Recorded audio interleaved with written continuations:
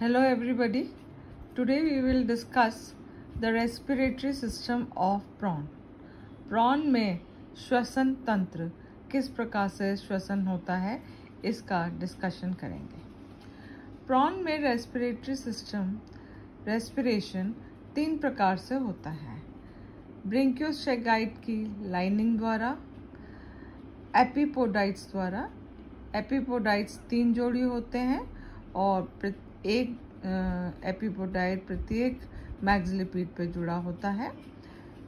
आठ जोड़ी गिल्स द्वारा।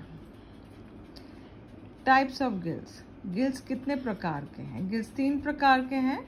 पोडोप्रैंक आर्थोप्रैंक प्लूरोप्रैंक पोडोप्रैंक जो कि किसी भी अपेंडिज के कॉक्सा पे जुड़ा होता है, यहाँ पे ये फ़र्स्ट मैग्जिलिपीड के कॉक्सा पे जुड़ा है।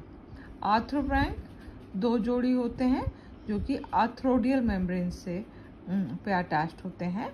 और ये दो जोड़ी जो है, सेकेंड मैग्जिलिपीड पे, की आर्थ्रोडियल मेम्ब्रेन पर अटैच्ड है। पाँच जोड़ी प्लूरोब्रैंक्स प्लूरोब्रैंक्स अटैच्ड होते हैं प्लूरॉन। प्लूरॉन यानी कि जो सिफेलोथोरैक्स की लेटरल साइड की प्लेट्स हैं, उन्हें प्लूरॉन कहा जाता है, उस पर जुड़े होते हैं ये पाँच जोड़ी। और ये पाँचों वॉकिंग लेग्स के प्लूरॉन पे पाए जाते हैं। अब सबसे पहले आता है लाइनिंग ऑफ़ ब्रिंकोस्टेगाइट पिछले लेक्चर में आपको बताया था कि प्रॉन में सिफेलोथोरैक्स यानी कि शिरोवक्ष में काइटन का बना हुआ कवच होता है, जिसको कि कैरापेस कहते हैं। कैरापेस लेटरल साइड पर जो है दोनों साइड पे फ्री होता है और गिल्स को कवर करे रहता है। इसको गिल कवर भी कहते हैं। या ये जो लेटरल साइड का जो पार्ट है, कैरापेस को, इसको ब्रेंक्योस्टेगाइट भी कहा जाता है। तो सबसे पहला रेस्पिरेटरी ऑर्गन जो हम ब्रेंक्योस्टेगाइट की लाइनिंग कह रहे हैं, इस ब्रेंक्योस्टेगाइट के भीतर की ओर एक पतली जो है, लाइनिंग होती है, जो कि जिसमें ब्लड सप्लाई काफ़ी अधिक है थिन वॉल्ड है और इसमें गैस एक्सचेंज यानी कि ऑक्सीजन और कार्बन डाइऑक्साइड का गैस एक्सचेंज काफ़ी अच्छे से होता है रेस्पिरेटरी सरफेस का काम करता है। वाटर जो करंट है जो रेस्पिरेटरी करंट है वो कैरापेस में आ, या गिल का जो चेम्बर है उसमें पोस्टीरियर साइड से एंटर होकर और एंटीरियर साइड से बाहर आता है।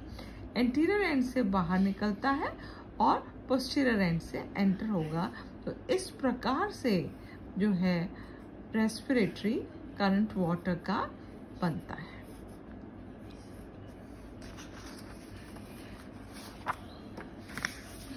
नाउ कम द एपिपोडाइट्स एपिपोडाइट्स जैसे कि आपको बताया था कि तीन मैग्जिलिपीज तीनों मैग्जिलिपीज पे जो है, एक छोटी पत्ती नुमा प्रवर्ध के रूप में ये thin walled well vascularise tissues होते हैं। इनमें भी गैस एक्सचेंज होता है। तो तीनों फ़र्स्ट सेकंड थर्ड मैग्जिलिपीड में ये एपिपोडाइट्स पाए जाते हैं। इनको प्रिमिटिव गिल्स भी कहते हैं। Now come the true gills true gills ये आठ जोड़ी हैं। इनको डिस्कस करने से पहले मैं बताना चाहूँगी branchial formula of Palaemon branchial formula of Palaemon में अलग अलग प्रकार के कौन से गिल्स हैं और किन अपेंडेजेस में पाए जाते हैं, इस प्रकार का ये चार्ट होता है। तो सबसे पहले एपिपोटाइट जैसे कि अभी बताया, तीन जोड़ी एपिपोटाइट्स प्रिमिटिव गिल्स और ये first second and third maxilliped पे होते हैं। देन कम्स पोडोप्रैंक केवल एक जोड़ी है, जो कि सेकेंड मैग्जिलिपीड पे होता है। Then comes the arthrobranchs arthrobranchs are two pairs दो जोड़ी, जो कि थर्ड मैग्जिलिपीड पे जुड़े होते हैं। फिर आते हैं पाँच जोड़ी प्लूरोब्रैंक्स जो कि फ़र्स्ट वॉकिंग लेग से लेकर और फिफ्थ वॉकिंग लेग तक होते हैं। तो टोटल ग्यारह जोड़ी गिल्स पाई जाती हैं पहले। Now come the true gills. True gills जो कि आठ जोड़ी हैं, ये इस प्रकार से नज़र आती हैं। सबसे पहले है ये पोडोब्रैंक और आर्थोब्रैंक्स। आर्थोब्रैंक्स दो जोड़ी हैं। दो नज़र नहीं आती, एक दूसरे को ओवरलैप करती हैं इस वजह से। और फिर पाँच प्लूरोब्रैंक्स ये प्लूरोब्रैंक्स जैसे कि आप देख रहे हैं एंटीरियर एंड से लेके पोस्टीरियर मोस्ट गिल तक साइज़ आकार जो है वो बढ़ता चला जाता है। इनकी शेप क्रिसेंटिक टाइप का शेप है और ये फाइलोब्रैंक्स कहलाते हैं। फाइलोब्रैंक्स यानी कि प्रत्येक गिल में एक गिल एक्सिस या गिल अक्ष होता है और दो पंक्तियों में जो है गिल प्लेट्स पाई जाती हैं। प्रत्येक गिल प्लेट स्क्वायर शेप की, लगभग स्क्वायरिश शेप की होती है। ये जो फाइलोब्रैंक्स हैं, इनका इन ये थोरैक्स की वॉल पर एक गिल रूट द्वारा जुड़ी होती हैं। इस गिल रूट से ब्लड सप्लाई होती है गिल्स को किस प्रकार से? ये है ब्लड सप्लाई गिल की। एक गिल में आप देख रहे हैं कि दो ब्लड वेसल्स जो हैं गिल रूट में पाई जाती हैं। एक है afferent branchial channel afferent branchial channel से ब्लड पहुँचता है गिल में, और दूसरी है इफ्रंट ब्रिंकियल चैनल जिससे कि ऑक्सीजन युक्त ब्लड जो है, वो गिल से बाहर आता है और पूरी बॉडी को सप्लाई आता है प्रत्येक गिल प्लेट में। किस प्रकार की सर्कुलेशन नज़र आती है?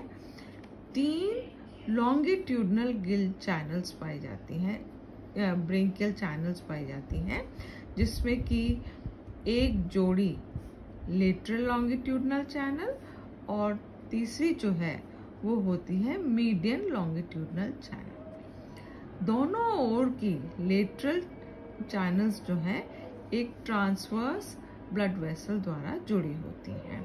और इसी प्रकार से प्रत्येक गिल प्लेट में अपनी ओर का जो लेटरल चैनल है, वो मीडियन मीडियन चैनल से एक मार्जिनल चैनल द्वारा जुड़ा होता है। तो इस प्रकार से पूरा ब्लड सर्कुलेशन नज़र आ रहा है गिल में। श्वसन के लिए जो मैग्जिला का स्कैफोग्नेथाइड है, उसमें स्पंदन होता है और उसके स्पंदन से गिल प्रवाह बनता है। जैसे कि आपको बताया वाटर करंट जो है, गिल चेम्बर में पोस्टीरियर एंड से एंटर होगा और एंटीरियर एंड से बाहर जाता है। तो जिस वक्त वाटर जो है, इन गिल्स के ऊपर से निकलेगा तो वाटर में से ऑक्सीजन एब्जॉर्ब कर लिया जाता है, इन गिल्स द्वारा और कार्बन डाइऑक्साइड त्याग दिया जाता है। इस प्रकार से श्वसन की क्रिया प्रॉन में होती है। Next is excretory system of prawn prawn में एक्सक्रीशन एक जोड़ी एक्सक्रीटरी ऑर्गन्स द्वारा होता है, जिनको कहते हैं एंटेनरी ग्लैंड्स या ग्रीन ग्लैंड एंटेनरी ग्लैंड्स इसलिए कहा जाता है कि ये दोनों जो हैं एंटेनरी ग्लैंड्स एंटेना के बेसिस में पाया जाता है. और ये एक एक छिद्र द्वारा खुलते हैं रीनल पोर्स ये भी एंटेना के बेसिस पे पाए जाते हैं. प्रत्येक ग्रीन ग्लैंड तीन पार्ट्स या एंटेनरी ग्लैंड तीन पार्ट्स का बना होता है। एंड सैक एंड सैक बाहर की ओर पाया जाता है, लेबरिंथ उसमें खुलता है और भीतर की ओर है ब्लैडर, जो कि रीनल पोर द्वारा बाहर खुलता है। प्रत्येक ब्लैडर एक एक ग्लैंडुलर डक्ट द्वारा सिफालोथोरैक्स में एक रीनल सैक से जुड़ता है। दोनों लेटरल डक्ट्स आपस में भी एक ट्रांसवर्स डक्ट या ट्रांसवर्स कनेक्टिव द्वारा जुड़े होते हैं। अब ये ग्रीन ग्लैंड किस प्रकार से कार्य करता है?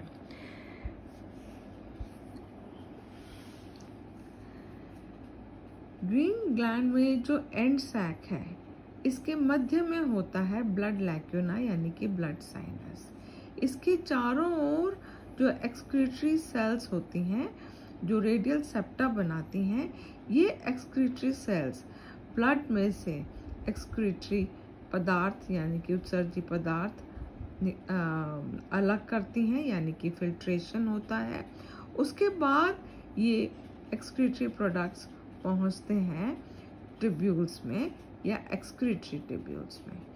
एक्सक्रीटरी ट्रिब्यूल्स में सिलेक्टिव रीअब्जॉर्प्शन होता है। सिलेक्टिव रीअब्जॉर्प्शन यानी कि जो यूज़फुल प्रोडक्ट्स हैं, वो वापस रीअब्जॉर्ब हो जाते हैं। और फिर उसके बाद एक्सक्रीटरी प्रोडक्ट्स कलेक्ट होते हैं ब्लैडर में। मेनली एक्सक्रीटरी प्रोडक्ट होता है अमोनिया और कुछ भाग में यूरिक एसिड और time to time renal post द्वारा बाहर त्यागते है